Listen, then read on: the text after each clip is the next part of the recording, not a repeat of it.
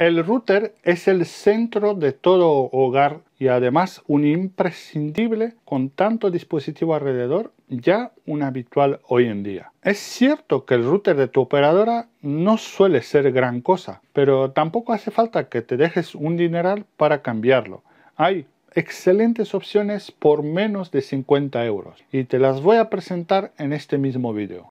No te olvides suscribirte y darle a la campanita para que te avisemos sobre nuevos vídeos que vamos a subir de forma muy frecuente. Te va a ayudar a estar al tanto de todos los secretos respecto a la instalación de paneles solares y de telecomunicaciones. Apóyanos con un me gusta y comenta más abajo cualquier duda o cualquier cosa en que podamos ayudar.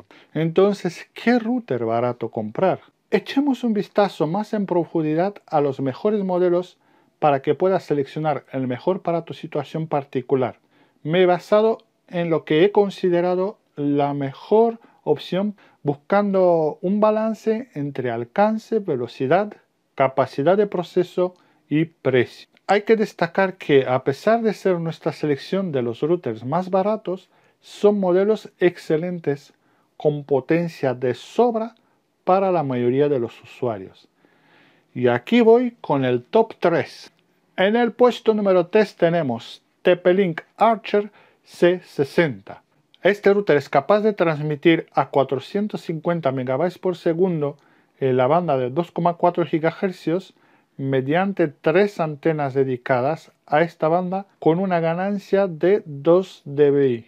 Permiten llegar a 450 MB por segundo junto con el ancho de banda de 40 MHz. Este es el que mayor velocidad ofrece en esta banda frente a los 300 MB por segundo del resto, aunque es cierto que está quedando relegada a usarse solo por dispositivos domóticos, pues cualquier ordenador o consola será preferible conectarlo usando la de 5 GHz con mayor ancho de banda. Respecto a esta, podemos lograr una velocidad de hasta 867 MB por segundo gracias a sus dos antenas externas a 3 dBi. Tienen una configuración MIMO 2T2R y tecnología Wi-Fi AC. Por supuesto, cuenta con beamforming 256 QAM de modulación de frecuencia en cuadratura para transportar dos señales independientes y el software tiene funciones como red de invitados en cada banda y control parental. Sus cuatro puertos LAN no son gigabit. Como ventajas tenemos el hecho de que este es el router que más velocidad ofrece en la banda de 2,4 GHz. Tiene MIMO, beamforming y todas las tecnologías de fortalecimiento de señal. Una gran estabilidad de señal en la zona de cobertura como desventajas, se trata que es el más caro, aunque siga estando por debajo de 50 euros. En el puesto número 2 tenemos Xiaomi Mi Router 3. Admite una velocidad de hasta 300 MB por segundo en la banda de 2,4 GHz y 867 MB por segundo en la de 5 GHz. Las cuatro antenas son de doble banda.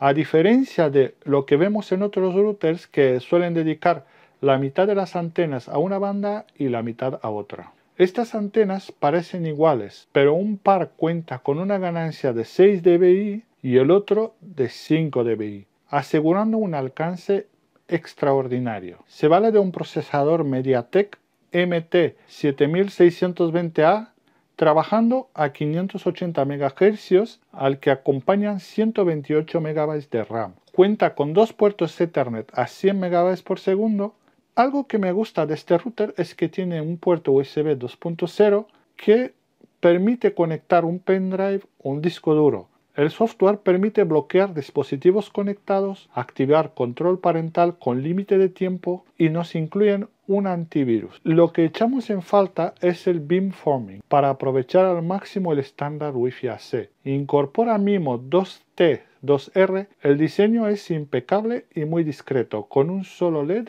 que no va a molestar por la noche. Las ventajas de este router de Xiaomi. El más barato de los mejores por menos de 50 euros. Tiene un gran alcance gracias a sus antenas duales de alta ganancia. Software fácil de utilizar con muchas funciones. Y tiene puerto USB para funciones multimedia. Como desventajas, destaco el hecho de que no tiene beamforming, no tiene puertos Ethernet gigabit. Está todavía sin traducir a español. Nos tocará usar el inglés, a no ser que sepas chino. Y el puesto número uno tenemos el Tenda AC10U.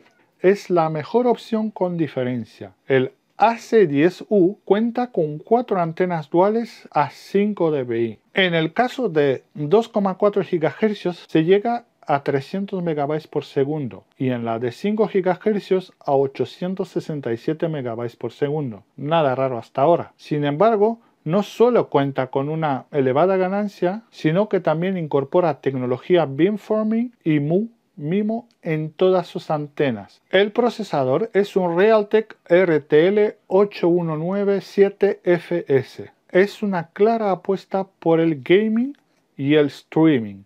En la parte trasera tenemos tres salidas LAN que en este caso sí son gigabits. No falta tampoco el puerto USB para compartir archivos multimedia o crear tu propio sistema de copias de seguridad. Nos gusta que funcione como router, punto de acceso o repetidor, incluyendo un asistente para migrar los datos de tu compañía y no tener que usar ambos routers. En cuanto al software, es muy intuitivo y equipa multitud de funciones como control del ancho de banda, temporizador de horas Wi-Fi, firewall, redes de invitados, control parental e incluso ajustes para los LEDs del router. Como ventajas tenemos largo alcance de Wi-Fi, conectividad muy estable con tecnología como beamforming y MIMO, puertos gigabit, puerto USB con funciones multimedia, software y app con muchas opciones, muy intuitiva, tiene un procesador muy potente que es perfecto para gamers y streamers, tiene